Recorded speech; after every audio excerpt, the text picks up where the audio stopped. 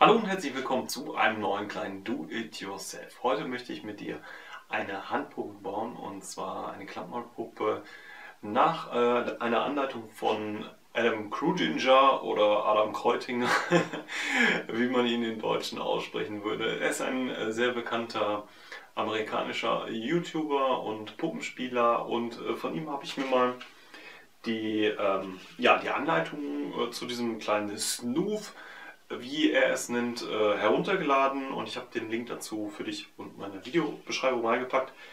Ähm, dafür brauchen wir so ein paar Materialien. Zum einen brauchen wir neben den beiden Schnittmustern noch etwas schwarzen Filz oder halt ein anderes Material ungefähr in der Größe ja 15 x 10 cm würde ich dir raten. Dann brauchen wir einen Stift, ist egal was für einen, der sollte jedenfalls gut auf Stoff malen können.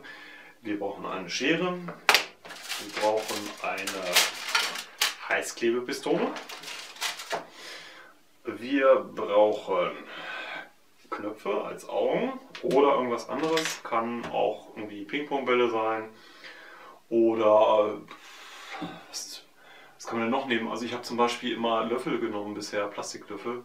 Ähm, sind jetzt natürlich bald äh, nicht mehr äh, auf dem Markt erhältlich, aber das ist zum Beispiel auch eine Möglichkeit. Also seid ein bisschen kreativ und denkt ihr aus, was man vielleicht noch als Auge nehmen kann.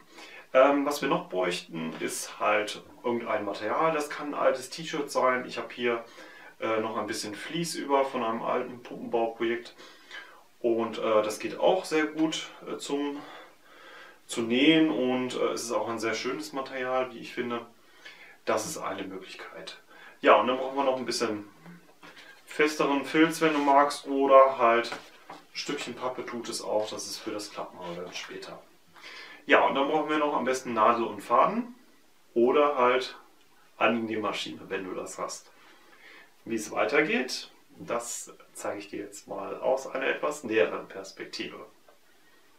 Als erstes schneiden wir uns mal einfach den Stoff zu für äh, den Handpuppenkörper.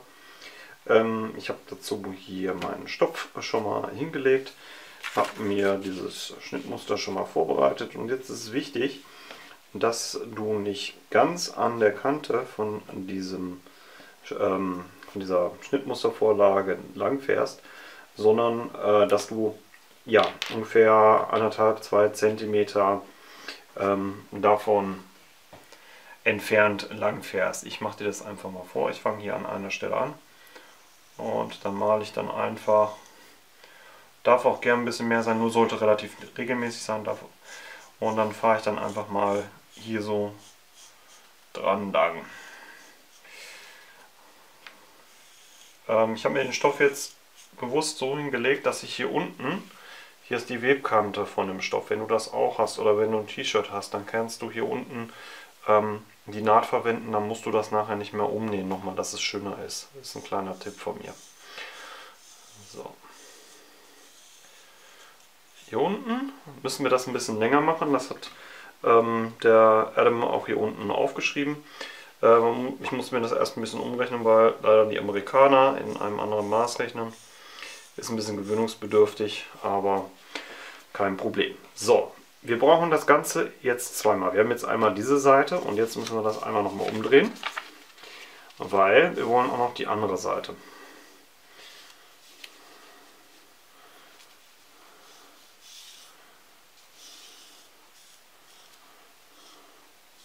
Du kannst natürlich auch den Stoff dir doppelt legen, dann sparst du dir ein bisschen Zeit.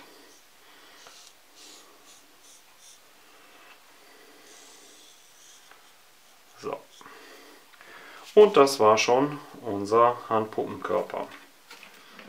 Dann schneiden wir das Ganze aus, ohne die Schere fallen zu lassen. Wähle dir wirklich eine gute, scharfe Schere. Wenn du hast, natürlich eine Schneiderschere.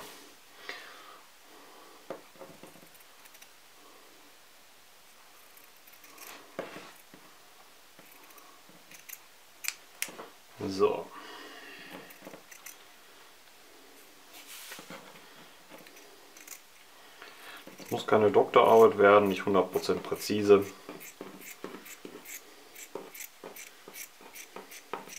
Ich hätte mir den jetzt auch echt doppelt legen können, aber ich zeige dir das einmal, wie es für einfache Leute besser geht, beziehungsweise simpler geht, wie für mich. Zudem hat man auch das Problem, wenn man es doppelt legt, dass es dann eventuell verrutschen kann. Da muss man es erstmal mit Stecknadeln fixieren und da habe ich persönlich meistens keine Lust drauf.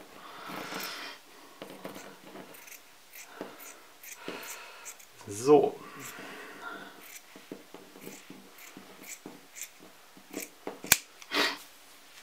Das sind die Reste, die brauchen wir nicht.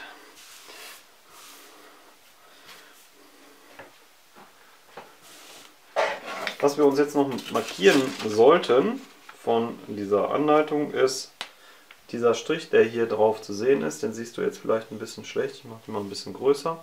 Den müssen wir hier auch noch auf das Schnittmuster, äh, auf den Vlies übertragen. Und das Ganze auch nochmal hier, weil das nämlich die Mitte von dem Klappmaul äh, nachher ist. So, okay.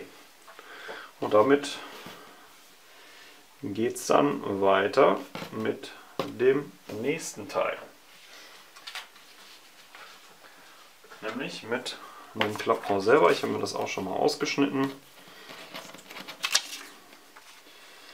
Ähm, Adam hat es auch nochmal drauf geschrieben. Top ist halt ähm, oben, das heißt da, wo unsere vier Finger nachher drauf liegen. Bottom ist unten, da, wo unser Daumen dann nachher reingreift.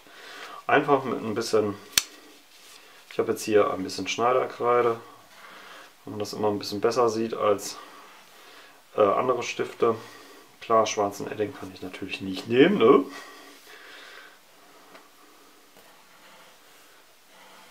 Also Schneiderkreide ist dafür echt praktisch. Geht aber auch eventuell ein ähm, weißer Buntstift, wenn du sowas zu Hause hast.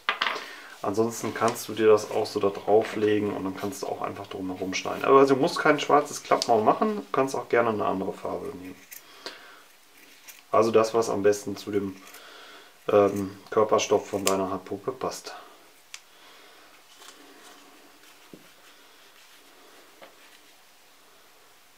So, ich schneide mir das Ganze gleich zweimal aus, weil ich das gern auch noch im Innern von dem Klappmaul haben möchte.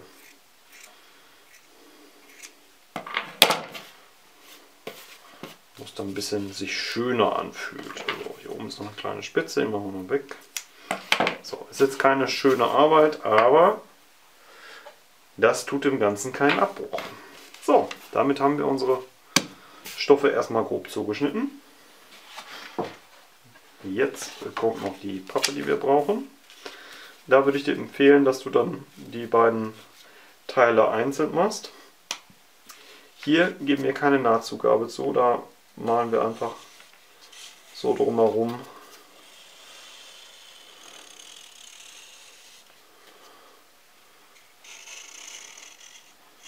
Weil wir ja nachher hier keine Nähte quasi versäumen müssen.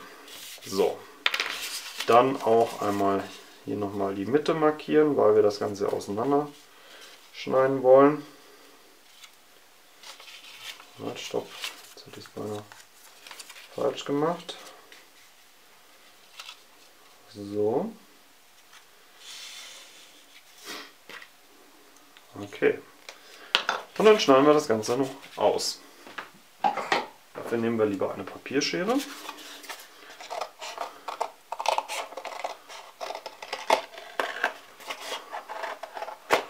Das ist übrigens ein ähm, bisschen festerer, ähm, ein bisschen festere Pappe, so wie man es halt äh, von beispielsweise der Rückseite eines Blockes kennt. Ne? Also wirklich ganz einfache Materialien, die du vielleicht eventuell auch alle zu Hause hast. So, jetzt wird es ein bisschen schwierig. Ich mache das gerne mal, dass ich mir ähm, das einfach nochmal vorher knicke. Also es, man kann es auseinanderschneiden man kann es auch einfach so lassen. Wenn du es auseinanderschneiden möchtest, was ich immer auch ein bisschen schöner ähm, finde, ist beim Zusammenlassen, dass es halt so einen kleinen Widerstand gibt. Der gibt sich allerdings auch mit der Zeit, der wird nachlassen. Also ich würde dir eher empfehlen, dass es wirklich so zusammenlässt. So. Wenn Kinder äh, das nachbauen, dann würde ich eher empfehlen, dass du das wirklich durchschneidest. Das ist dann einfacher. Dann kommen wir weiter zum nächsten Schritt, nämlich dem Nähen. Und dafür brauchst du Nadel und Faden. So, als erstes nehmen wir uns äh, die Stoffteile, die beiden großen und ähm, ich fange da an, wo im Prinzip die Oberseite des Kopfes ist. Und das ist hier. Hier ist ja die Mitte von dem Klappmaul. Und dann fange ich hier oben an. Ich lege mir das einfach zusammen, die beiden Stofflaken. Spanne das Ganze unter die Nähmaschine. Müssen wir natürlich vorher noch Strom machen. So, und dann geht das Ganze los. Ich verwende hier einen einfachen ähm, Steppstich mit äh, normaler Fadenspannung. Da solltest du dann auch ein bisschen drauf achten, wenn du dich mit einer Nähmaschine auskennst. Weißt du, was gemeint ist.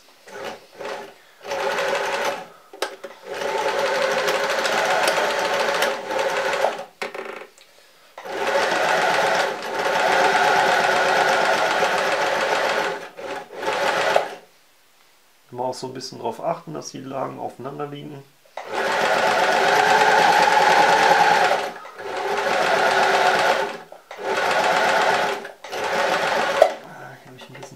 Rand genäht, glaube ich.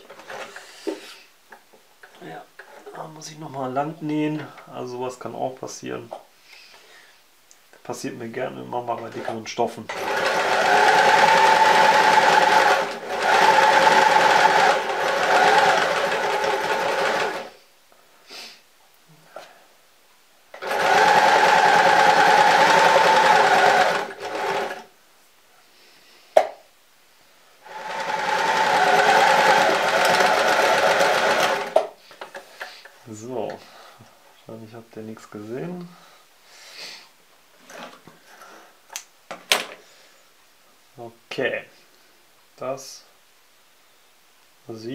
Einigermaßen okay aus. Jetzt nehmen wir uns die andere Seite vor und zwar ist das ähm, das, was im Prinzip nachher das Kinn ist. Hier sollte das Kinn sein und dann nehmen wir das auch einmal zusammen. Wichtig ist wirklich, dass diese beiden ähm, Punkte, also die Öffnung vom Klappmaul, dass die wirklich direkt aufeinander anschließen. Was nachher an ähm, der Unterseite ist, also im Prinzip hier, wo der Arm reinkommt in diesen Tunnel, wie weit das da übersteht, das ist egal. Wichtig ist wirklich da beim dass du darauf achtest, dass es auch richtig zusammen ist.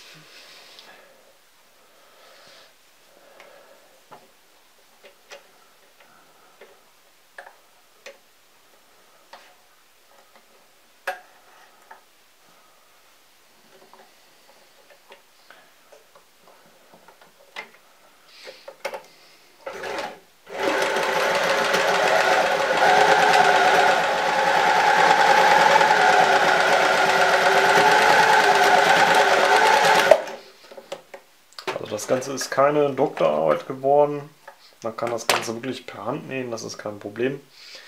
So, jetzt lassen wir das so auf dieser Seite, ähm, ja, wie wir es im Prinzip auf den Stoff aufgemalt haben. Denn jetzt kommen wir zu dem Klappmaul selber. Normalerweise wäre es gut für das Klappmaul, da ich jetzt ein schwarzes habe, da nochmal einen anderen Faden zu verwenden. Aber das ist wirklich nicht weiter tragisch. Was wir jetzt noch allerdings machen müssen, ich schiebe mal gerade noch mal die Nähmaschine beiseite, ist uns eine Markierung machen, wo im Prinzip die Mitte des Klappmauls ist. Adam hat hier oben hat eine Markierung gemacht, die wir jetzt auch noch hier auf unseren Stoff übertragen müssen. Dazu nehme ich mir nochmal meine Schneiderkreide und zeichne mir das einmal oben und unten nochmal an. Weil diese Punkte markieren nämlich, wo ich jetzt dann das Klappmaul im Prinzip anpassen muss. Ich muss jetzt hier, ich hoffe man kann das sehen, hier oben ist die Naht, die wir gerade vernäht haben und hier ist die Markierung. Das muss ganz genau da oben sein, weil sonst passt das nachher mit dem Klappmaul nicht. Kann auch sein, dass es insgesamt vielleicht ein bisschen zu groß ist, ein bisschen zu klein, da musst du ein bisschen tricksen. Ähm, manchmal kann man das auch ähm, durch, durch Stecknadeln äh, dann schon vorhersehen, wie weit das Klappmaul zu groß ist, aber ich mache das in der Regel so, dass ich keine Lust habe, wie gesagt, das dann ähm, nochmal vorher mit Stecknadeln festzustecken. Äh, und meistens klappt das dann auch. So.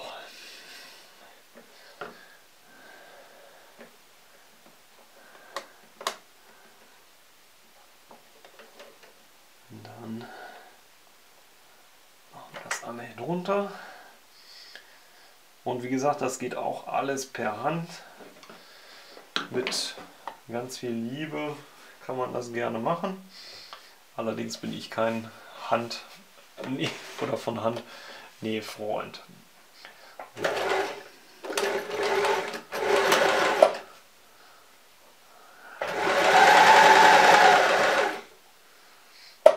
Jetzt versuchen wir hier noch die andere Markierung zu finden. Und da merke ich doch schon, dass es doch ein bisschen zu groß ist, das Klappmaul.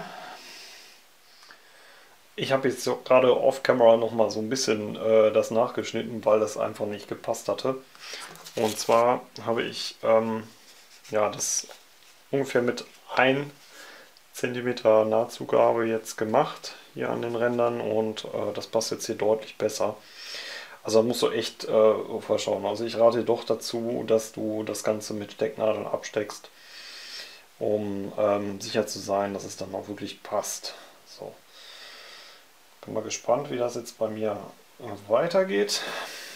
Ob das dann jetzt hier so ist, wie ich mir das erhoffe. So. Also meine Nähkünste sind heute echt nicht die besten bitte das zu entschuldigen. Normalerweise kann ich das ein bisschen besser.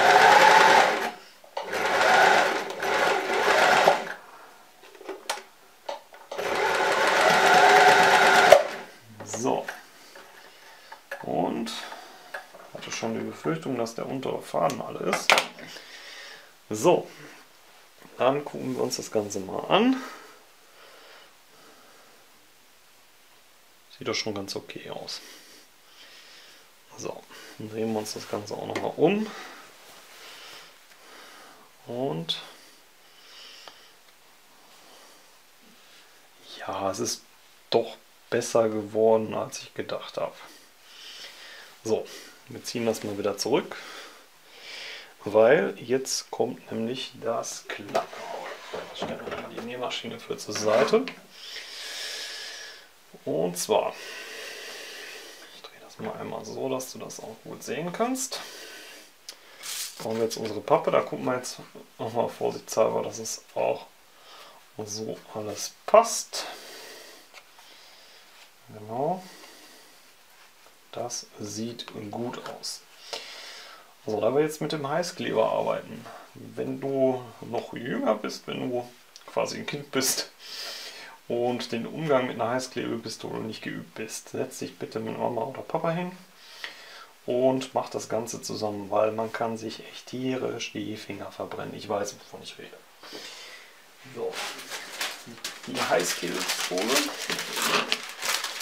Also kleiner Tipp ähm, von mir, ich nehme mir immer gerne so ein Stückchen Backpapier und ähm, stelle da oder lege da die Heißklebepistole drauf ähm, weil dann hat man nicht das Problem, dass der Heißkleber dann an irgendwelchen Oberflächen dann noch haftet. So, ähm, wir fangen mal an. Wir knicken das hier so ein bisschen ein und dann machen wir einfach mal ein bisschen Heißkleber. Und ruhig auch bis an den Rand hier drauf und dann setzen wir das Ganze so drauf dass es relativ gleichmäßig ist und streichen das hier hinten so ein bisschen mit, mit Hilfe des Vlieses glatt. Ne? Übrigens noch ein kleiner Hinweis, ähm, falls du hellen ähm, Bastelfilz verwendest, diesen dünnen, da ähm, ist es oft so, dass der Heißkleber durchscheint. Das heißt, da verändert sich dann die die Färbung, die Oberfläche und ähm, ja, das sollte man halt wissen, wenn man helleres Material hat. Also auch bei, bei Baumwollstoffen, wenn du das Ganze jetzt mit einem T-Shirt machst, ähm, im alten, dann ähm, solltest du das auch wissen, dass es wirklich durchscheinen kann. So, dann nehmen wir uns jetzt die andere Seite. Die ist jetzt die erste Seite schon ein bisschen abgekühlt. Und dann machen wir auch wieder gut Heißkleber hier drauf. Wirklich auch ganz nah bis an die Ränder, damit das auch wirklich nachher überall haftet. Und dann drücken wir das Ganze wieder fest. Also hier auf dieser Seite von dieser Pappe, von diesem, ähm, ja, von der Rückseite eines Blockes, das jetzt habt, da verbrennt man sich nicht so schnell und man sollte mal halt nicht die Finger zu lange auf einer Stelle haben. Ne? So. Jetzt gerade ein bisschen Heißkleber bekommen, aber das war nur halb so schlimm. So, wer jetzt möchte oder wenn du jetzt möchtest, dann ähm, kannst du hier jetzt nochmal ein bisschen Filz aufbringen. Ich mache das Ganze jetzt auch noch mal ein bisschen kleiner, dass es ungefähr so groß ist wie unser, unsere ähm, Vorlage, unser Schnittmuster.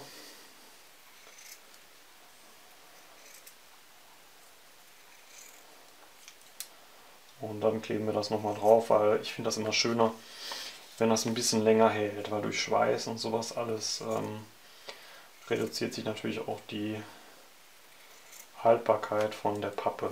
Du kannst da übrigens auch statt ähm, Pappe Isomatte nehmen. Ist auch eine gute Möglichkeit. Wenn du eine alte Isomatte hast oder so, ist das eine andere Idee noch als Pappe. Ist vor allen Dingen auch langlebiger. So, und jetzt brauchen wir noch ein Stückchen Stoff, damit wir uns gleich die Finger verbrennen. Wenn wir das dann nämlich hier nochmal aufbringen,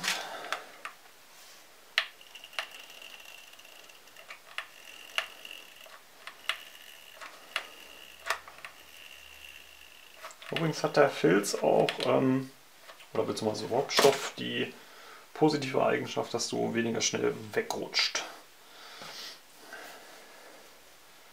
So, jetzt einfach hier so ein bisschen fest so, das geht schon von der Hitzeentwicklung. So. Und dann auch vielleicht noch so ein bisschen so in die andere Richtung biegen, weil unser Klappmauer geht ja nachher so im Prinzip. Ne? So. Okay. So, dann können wir es schon umdrehen.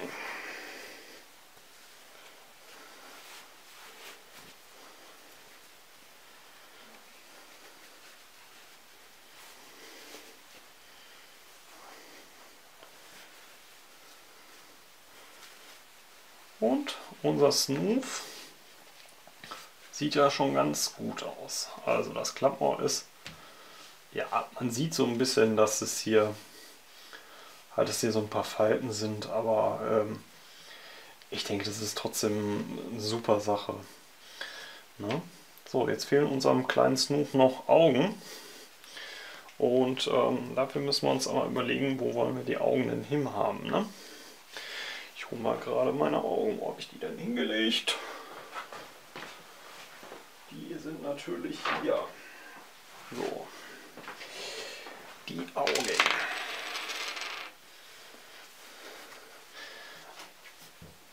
Wir können eins hier hin machen. Natürlich jetzt schlecht, dass wir die nicht richtig festmachen können. Machen wir das mal anders. Eins vielleicht hier und eins da. Doch, das sieht, sieht schon ganz gut aus. Also man kann sich so ein bisschen an der Mitte orientieren, an dieser Naht, die hier ist. Ich äh, hoffe, du kannst es gut erkennen. Das ist ja die Mitte und äh, da sollten die Augen halt einigermaßen symmetrisch sein. So, wir können uns das jetzt auch noch so ein bisschen markieren. Entschuldigung für meinen Arm im Bild. So, machen wir jetzt einmal da eine Markierung und dann gucken wir, das ist auch noch ungefähr. Ja, müssen wir hier noch ein bisschen weiter rüber. So. Und dann können wir auch wieder ruhig ein bisschen Heißkleber arbeiten.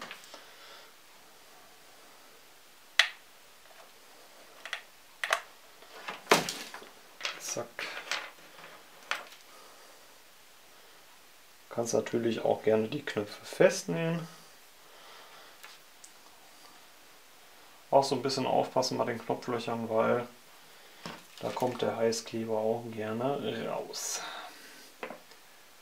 So. Und dann noch das andere Auge.